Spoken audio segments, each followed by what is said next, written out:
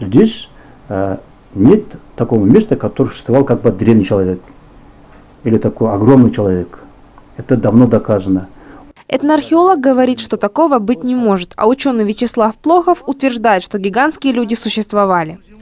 Я на Балхаше видел э, парные следы, голые, такого же размера, всем моих ступней.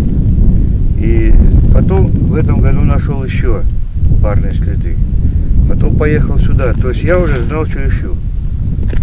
В урочище Бектауата Вячеслав Плохов обнаружил следы размером от 1 метра до 3. Более того, ученый также нашел и отпечатки пальцев, параметры которых схожи с размерами найденных следов. Вячеслав Иванович верит своим глазам и своей теории. Существовали когда-то древние люди гигантских размеров. А может, это были и не совсем люди. Правда ли это следы или нет, смотрите в эту субботу на Первом Карагандинском специальном репортаже. Амина Смакова, Исламбек Аспан, Арман Нартаев, Первый Карагандинский.